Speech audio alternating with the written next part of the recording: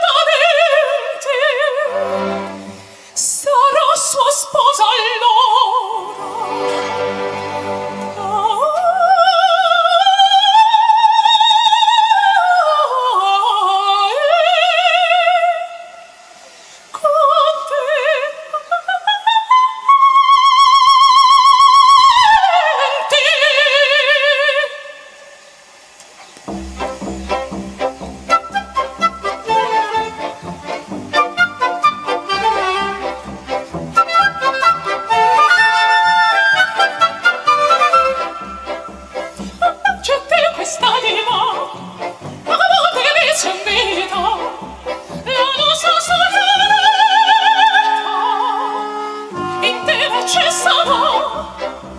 Te dico a piedi un po' zavati, su questo cuor che t'amo, che